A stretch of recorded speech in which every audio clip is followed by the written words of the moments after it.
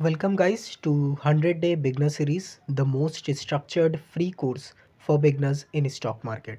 Hello guys आज है day thirteen of hundred day beginner series जहाँ हम जानने वाले हैं step by step fundamental analysis को और अम, यहाँ पर मैं आपको बताऊँगा कि कैसे आप फंडामेंटल एनालिसिस के थ्रू एक फंडामेंटली स्ट्रॉन्ग स्टॉक सेलेक्ट कर सकते हैं लॉन्ग टर्म इन्वेस्टमेंट के लिए तो इससे पहले कि मैं आपको यहाँ पर डिटेल में फंडामेंटल एनालिसिस के बारे में बताऊँ मैं आपको कुछ कंडीशंस बताऊँगा जिसके आपको कन्फर्मेशंस लेने बहुत ज़्यादा ज़रूरी हैं और उसके बिना आप यहाँ पर स्टॉक को नहीं सेलेक्ट करोगे।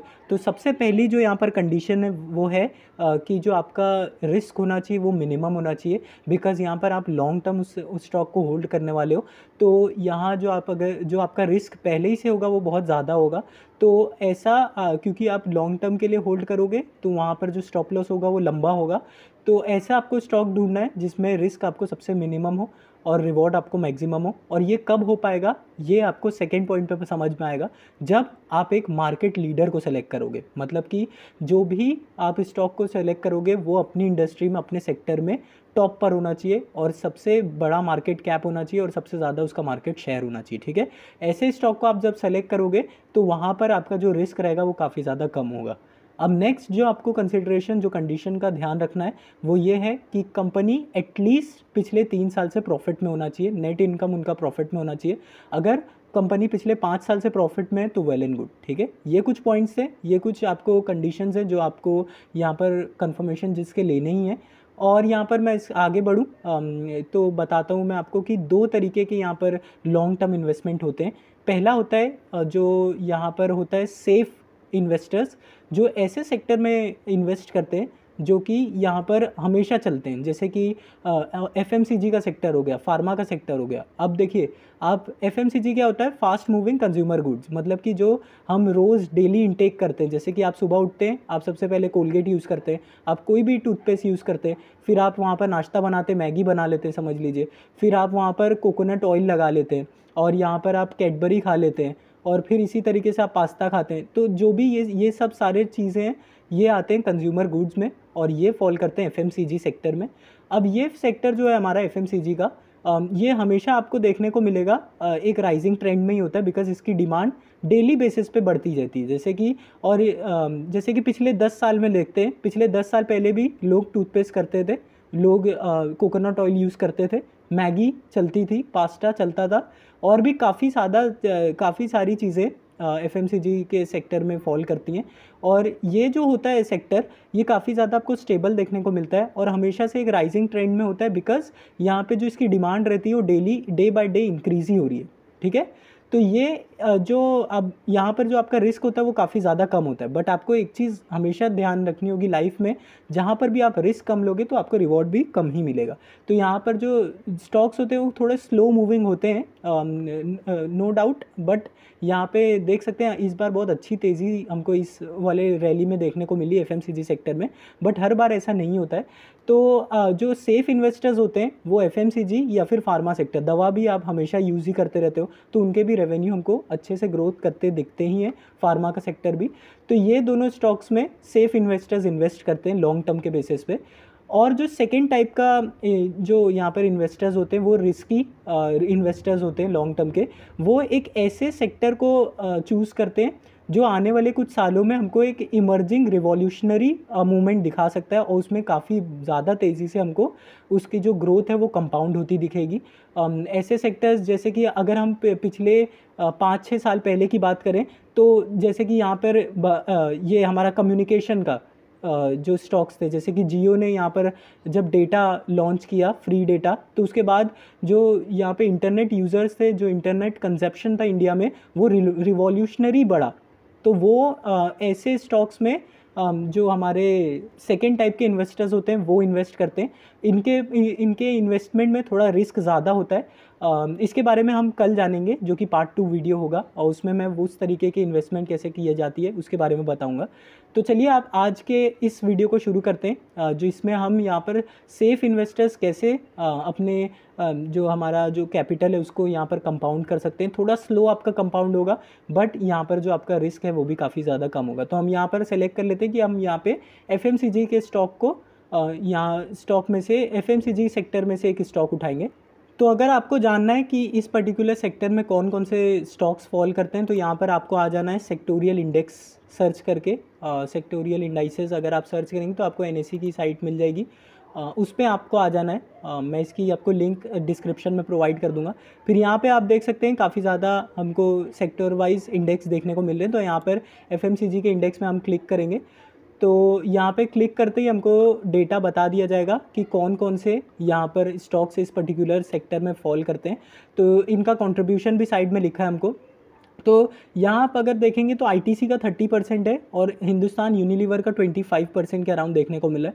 आईटीसी एक, जो हमारी टोबैको के स्टॉक्स टोबैको के जो इन्वेस्टमेंट करते हैं आईटीसी के अंडर फॉल करता है। तो पर्सनली ऑब्वियसली um, इसका डिस्ट्रीब्यू जो यहाँ पर कंट्रीब्यूशन है एफएमसीजी सेक्टर में सबसे ज़्यादा है। बट यहाँ पर जो मार्केट कैपिटलाइजेशन अगर आप देखेंगे तो हिंदुस्तान यूनिलीवर का काफ़ी ज़्यादा आईटीसी से। अगर ये मुझे कैसे पता चला इसके लिए आपको यहाँ पर आना पड़ेगा टिकट टेप की साइट पर। टिकट टेप की साइट पर आ जाएँगे हम। और फिर हम इन दोनों जो स्टॉक्स थे, उनको यहाँ पर सर्च करेंगे। सबसे पहले मैं यहाँ पे आईटीसी को कर लेता हूँ। आईटीसी के अगर स्टॉक को मैं देखूँ तो यहाँ पर आपको देखने को मिलेगा इसका मार्केट कैपिटलाइजेशन है। Four four lakh eleven thousand crore का। और वहीं पे अगर मैं हिंदुस्तान यूनिलीवर का दिखाऊँ आपको तो वहीं अगर हिंदुस्तान यूनिलीवर का हम यहाँ पर मार्केट कैपिटलाइजेशन देखेंगे तो आप यहाँ पर देख सकते हैं, इसका है six lakh thirty three thousand five hundred crore तो ये काफ़ी ज़्यादा आईटीसी से। तो हम इस सेक्टर से हिंदुस्तान यूनिलीवर को सेलेक्ट करने वाले हैं बिकॉज़ ऑब्वियसली ये मार्केट लीडर है उस पर्टिकुलर सेक्टर में। अब यहाँ पर आ, आपको आगे का जो फंडामेंटल एनालिसिस है वो टिकट टेप की साइट पर ही करना है। तो हमने यहाँ पर सेलेक्ट कर लिया हिंदुस्तान यूनिलीवर को। और यहाँ पे आप कुछ इसके की मेट्राइसेस देख सकते हैं।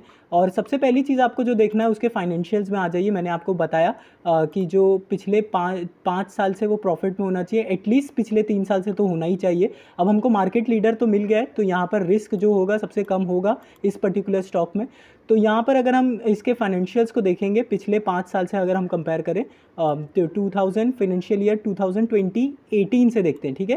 ट्वेंटी एटीन से हम देखेंगे नेट इनकम यहाँ five thousand two hundred crore six thousand crore, six thousand seven hundred crore, फिर उसके बाद seven thousand nine hundred crore, फिर उसके बाद eight thousand eight hundred crore और अभी तक ये टिल दिस मंथ आप देख सकते हैं नाइन थाउज़ेंड करोड़ का टोटल नेट इनकम इन्होंने जनरेट कर दिया है। तो अगर आप एक चीज़ को ध्यान देंगे, पिछले पाँच साल से क्या, उससे पहले भी अगर आप यहाँ ध्यान देंगे तो लगातार इनके जो रेवेन्यू है नेट इनकम है, वो इंक्री इंक्रीज ही हुए हैं और रेवेन्यू भी उसके साथ साथ काफ़ी तेज़ी से बढ़ा है। तो यहाँ पर ये कंपनी प्रॉफिट में भी है, बहुत अच्छे प्रॉफिट में है। तो अब हम आगे बढ़ेंगे, यहाँ पर भी एक ग्रीन फ्लैग दे दिया हमने। अब बैलेंस शीट पर आएँगे बैलेंस शीट में हमको क्या देखना रहता है? हमको एसेट वर्सेस लाइबिलिटीज़ देखना रहता है। एसेट क्या होता है? एसेट को, वो चीज़ होती है, वो पर्टिकुलर एसे वो चीज़ें होती है जो कुछ वैल्यू रखती है कंपनी की। और वो अगर कंपनी समझ लीजिए आज बंद हो जाती है तो उसके पास इतना एसेट होना चाहिए कि वो अपनी पूरी जो उसकी लाइबिलिटीज़ है मतलब जो उसको देना है, कर्ज वगैरह लोन है, वो उसके उसको बेचकर, अपने एसेट्स को बेचकर वो फुलफ़िल कर दे। तो यहाँ पर आप देख सकते हैं एसेट हमको seventy thousand five hundred crore का देखने को मिल रहा है, उसके सामने लाइबिलिटीज़ यहाँ, सिर्फ़ और सिर्फ़ ट्वेंटी वन थाउज़ेंड की टोटल लाइबिलिटीज़ है। और यहाँ पर एसेट एटलीस्ट डबल होना चाहिए लाइबिलिटीज़ के, वो अच्छा माना जाता है। अब ये तो तीन गुना के आसपास है तो ये मोर देन थ्री टाइम्स है तो ये बहुत ज़्यादा अच्छा है। तो हिंदुस्तान यूनिलीवर अभी तक से ग्रीन फ्लैग्स हमें दिए जा रहा है। और यहाँ पर हम कैश फ्लो में भी आ जाएँगे कि फ्री कैश अवेलेबल है यानी फ्री कैश मार्केट पर जो यहाँ पर स्टॉक होता है, उसके पास थोड़ा रहना चाहिए, जिसके थ्रू वो न्यू इन्वेस्टमेंट करता है। तो यहाँ पर आप देख सकते हैं seven thousand eight hundred crore यहाँ पे फ्री कैश भी अवेलेबल है हिंदुस्तान यूनिलीवर के पास। तो फाइनेंशियल्स के सेक्टर में इसको ग्रीन फ्लैग मिल चुका है। अब यहाँ पर हम आ जाएँगे पीयर्स में। और पियर्स में हम यहाँ पर सबसे पहले इस वाले टैब को खोल देंगे, जो कि हम स्क्रीनर पर आ जाएँगे। तो यहाँ पर हम कंपेयर करेंगे इसको दूसरे इसी के सेक्टर के स्टॉक से। तो यहाँ पर आपको सब सेक्टर्स पे क्लिक करना होगा और यहाँ पे कंज्यूमर स्टेपल्स में आप ड्रॉप डाउन मेन्यू खोलेंगे तो काफ़ी ज़्यादा चीज़ें आपको और देखने को मिलेगी। अल्कोहलिक बेवरेजेस मैं पर्सनली नहीं इन्वेस्ट करूँगा। तो soft drinks tea and coffee agro products FMCG food और food and meats seeds sugars and personal products इन सारे स्टॉक्स को हम यहाँ पर ले लेते हैं स्क्रीनर में। और यहाँ पर आप देख सकते हैं 251 रिजल्ट्स आ चुके हैं। और इनमें भी मार्केट कैपिटलाइजेशन हिंदुस्तान यूनिलीवर सबसे ज़्यादा होल्ड करता है। और अगर अब हम दूसरी यहाँ पर रेशियोज़ और दूसरी चीज़ें को भी ऐड कर लेते हैं, ताकि हमको और एक अच्छा क्लियर पिक्चर मिल जाए। तो सबसे पहले हम यहाँ पर किसको ऐड करेंगे? Five return five year of CAGR को यहाँ पर ले लेते हैं। और हमारे पास क्या है? रिटर्न ऑन इक्विटी को ऐड कर लेते हैं। रिटर्न ऑन इक्विटी आरओसी को हम ऐड कर लेते हैं। रिटर्न ऑन इक्विटी को हम ऐड कर लेते हैं। और यहाँ पे डेप टू इक्विटी को भी यहाँ पे हम ऐड कर लेते हैं। तो ये जो हम पहले से इन सारे जो भी ये हैं रेशियोज़ इसके बारे में मैं पहले ही वीडियो बना चुका हूँ। तो अब यहाँ पर अगर आप देखेंगे, ये कुछ बेसिक्स यहाँ पे हमारे पास रेशियो जिसके बेसिस पे हम दूसरे स्टॉक से इसको कंपेयर करने वाले हिंदुस्तान यूनिलीवर का अगर यहाँ डेप टू इक्विटी देखेंगे तो जितने भी यहाँ पर आपको लिस्टेड स्टॉक्स देखने को मिल रहे हैं, उनमें से काफ़ी ज़्यादा अच्छा है। ऑब्वियसली यहाँ पे थोड़े स्टॉक्स हैं, जैसे कि हमारे पास जिलेट का है, उसके ज़ीरो डेप टू इक्विटी है बट स्टिल टू टाइम्स इसका डेप टू इक्विटी चल रहा है हिंदुस्तान यूनिलीवर का। और रिटर्न एंड इक्विटी की बात करें तो हमको 18 टाइम्स का देखने को मिल रहा है। एटीन परसेंट का सॉरी और नेस्ले इंडिया का देख सकते हैं आप हंड्रेड परसेंट का है। बट यहाँ पर अगर आप इसके नेस्ले इंडिया का डेप टू इक्विटी देखेंगे तो ट्वेल्व टाइम्स का चल रहा है, जो कि काफ़ी ज़्यादा है, ठीक है? और आपको जो दूसरे भी स्टॉक्स जिनका आपको यहाँ पे रिटर्न ऑन इक्विटी ज़्यादा दिख रहा है, उसका आप डेप टू इक्विटी देख सकते हैं बहुत ज़्यादा, जैसे कि ब्रिटानिया इंडस्ट्रीज़ का 95 टाइम्स चल रहा है यहाँ पर डेप टू इक्विटी तो इस तरीके से अभी तक हमको हिंदुस्तान यूनिलीवर जैसा स्टॉक नहीं देखने को मिला है और मार्केट कैप भी इसी का सबसे ज़्यादा है और आरओसी भी हमको ट्वेंटी परसेंट का देखने को मिला जो कि काफ़ी ज़्यादा डिसेंट है। और यहाँ पे आपको हमेशा बेस्ट स्टॉक जो बेस्ट रिटर्न दिया वो नहीं देखना है। आपको जो एक एवरेज रिटर्न देते आ रहा है, जैसे कि यहाँ पर फाइव ईयर्स का सी देखिए आप सेवनटीन टाइम्स सेवनटीन परसेंट का चल रहा है, जो कि काफ़ी ज़्यादा अच्छा है, ठीक है? आपको ऐसी स्टॉक लेना जो स्टेबल हो डिसेंट हो पिछले पाँच साल में एक अच्छा हमको यहाँ पर रिटर्न दिया हो ठीक है?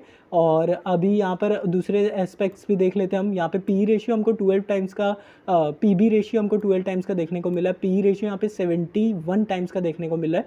और इस सेक्टर में आपको ज़्यादातर पी रेशियो हाई देखने को मिलेगा। देख सकते हैं आप one twenty two Adani Wilmar का एटी सिक्स टाइम्स ऐसा सबका ज़्यादा ही रहता है। तो इस तरीके से आप बेसिक जो हमारे रेशियोज़ हैं, उसके बेसिस पे दूसरे उसी पर्टिकुलर सेक्टर से उसके वो स्टॉक को कंपेयर कर सकते हैं। तो ये सारे जो हमारे पास रेशियोज़ थे, वो भी देख सकते हैं आप। उसमें भी हिंदुस्तान यूनिलीवर कहीं ना कहीं ग्रीन फ्लैग दे रहा है हमको और एक बहुत अच्छा इसका ओवरऑल फंडामेंटल्स है, ठीक है? तो यहाँ पर हम इस बेसिस पे इसको आगे लेकर जा सकते हैं नेक्स्ट लेवल पर। अब यहाँ पर हम क्या देखेंगे? इसकी होल्डिंग होल्डिंग देखिए मोर देन फिफ्टी परसेंट होनी चाहिए प्रोमोटर्स के पास और प्रोमोटर्स की होल्डिंग ओवर पाँच छः जो हमारी ये होती है क्वार्टर कम नहीं होना चाहिए। आप यहाँ पर देख सकते हैं छः क्वार्टर से sixty one point nine zero पर स्टेबल है। तो प्रमोटर्स होल्डिंग कम नहीं होना चाहिए। मतलब कि अगर प्रमोटर्स ही बेच रहे हैं तो मतलब उनके पास कुछ ऐसी इन्फॉर्मेशन है आ, कि कंपनी को यहाँ पर लॉस हो सकता है। बट यहाँ आप देख सकते हैं आ, लगातार यहाँ पर का जो प्रमोटर्स की होल्डिंग है वो कांस्टेंट रही है। तो ये भी एक अच्छी बात है।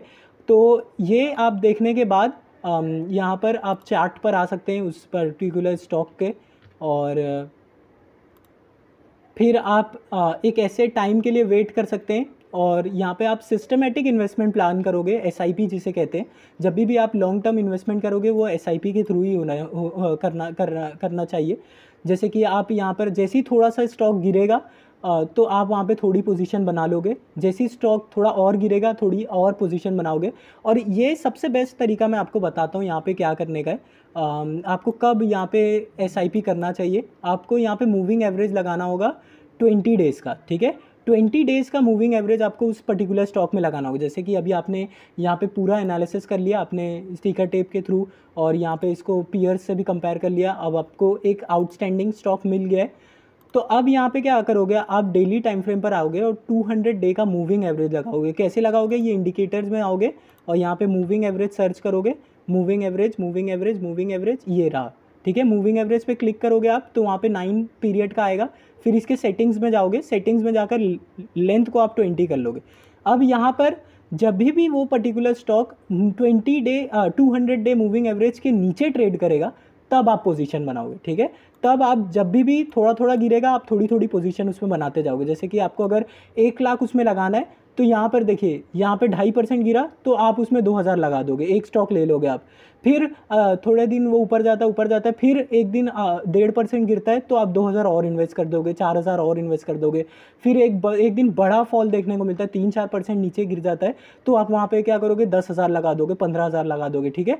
तो ऐसा कर करके थोड़ा थोड़ा आपको इन्वेस्ट करना है ताकि जो आपका एवरेज होगा वो आपका काफ़ी ज़्यादा कम हो जाए। आप समझ लीजिए आपने यहीं पर एक लाख इन्वेस्ट कर दिया तो यहाँ पर एवरेज आपका ट्वेंटी थ्री सिक्सटी के अराउंड हो जाता। और उसके बाद यहाँ पर देख सकते हैं आप उन्नीस सौ तक के हिंदुस्तान यूनिलीवर गया। तो यहाँ पर अगर आप थोड़ी पोजीशन लेते, फिर थोड़ी पोजीशन इस वाली कैंडल पे ले लेते, इस वाली कैंडल पे ले लेते, और फिर यहाँ पर भी लेते तो आपका एवरेज कहीं ना कहीं यहाँ पर भी टू थाउज़ेंड रुपीज़ के अराउंड आता, ठीक है? फिर उसके बाद आपका एवरेज कम हो जाता और आपके रिटर्न काफ़ी ज़्यादा अच्छे होते। बट 200 डे मूविंग एवरेज के जैसे ही ऊपर स्टॉक चले जाता है तो आपको वहाँ पर कंपाउंडिंग बंद कर देना। आपको वहाँ पर एस को बंद कर लेना। जैसे ही यहाँ पर ये कैंडल के थ्रू ये ऊपर चला गया इस वाली लाइन के, जो कि 200 डे मूविंग एवरेज के, इसके बाद आप एसआईपी उस स्टॉक में करना बंद कर दोगे। तो आप ट्राई करिए, जब तक वो नीचे रहता है, तब तक आप जितना भी आपको वहाँ पर टोटल कैपिटल लगाना है उस पर्टिकुलर स्टॉक में आप जब तक वो उसके नीचे ट्रेड कर रहा है, तभी आप उसमें इन्वेस्ट कर लो, ठीक है? क्योंकि उसके बाद हमको एक ट्रेंडिंग मूव देखने को मिलता है two hundred day moving average को जैसे क्रॉस कर लेता है वो पर्टिकुलर स्टॉक और फिर वो टाइम होता है आपका प्रॉफिट इन्जॉय करने का, ना कि उसमें पोजिशन बनाने का, ठीक है? तो यही कुछ बताना था फंडामेंटल एनालिसिस के वीडियो में, जहाँ पर एक सेफ़ इन्वेस्टर्स क्या कर सकते हैं, कैसे अपने जो कैपिटल को कंपाउंड कर सकते हैं। काफ़ी, देखिए कछुए और यहाँ पर खरगोश की रेस में ऑब्वियसली यहाँ पर कछुए जीतते हैं।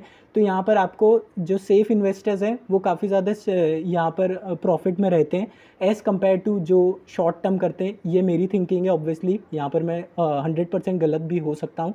बट ये मेरी थिंकिंग और मैं खुद भी यही चीज़ करता हूँ, मैं प्रेफर करता हूँ लॉन्ग टर्म करना। और मुझे लगता है कि जो कंपाउंडिंग होती है वेल्थ वेल्थ की, वो over a longer period of time ही होती है, ठीक है? तो आज का जो टास्क है वो आपको यहाँ पर हिंदुस्तान यूनिलीवर का तो मैंने कर लिया। आप दूसरे स्टॉक का ऐसी, इसी तरीके से जो यहाँ पर हमारा फंडामेंटल एनालिसिस है, वो कर सकते हैं। किसी और सेक्टर से भी आप उठा सकते हैं कोई भी स्टॉक को। वहाँ पर पहले जाइए, आप उस पर्टिकुलर इंडेक्स के बेस्ट स्टॉक को ढूंढिए, जिसका मार्केट कैपिटलाइजेशन काफ़ी ज़्यादा है। फिर उसको आप यहाँ पर टिकर टेप पे उसका एनालिसिस करिए और फिर उसको पीयर से उसके कंपेयर करिए न्यू यहाँ पर टैब में जाकर। और फिर आपको अगर स्टॉक मिल जाता है तो वहाँ पे 200 डे मूविंग एवरेज लगाइए और जब उसके नीचे जाएगा तो आप वहाँ पर कंपाउंडिंग को शुरू कर सकते हैं, ठीक है? तो उम्मीद करता हूँ ये वीडियो पसंद आया, अगर पसंद आया तो प्लीज़ इस वीडियो को लाइक करें और इस चैनल को सब्सक्राइब करें और कल मिलेंगे एक नए वीडियो के साथ, तब तक के लिए ट्रेड करते हैं प्रॉफिट बनाते हैं थैंक यू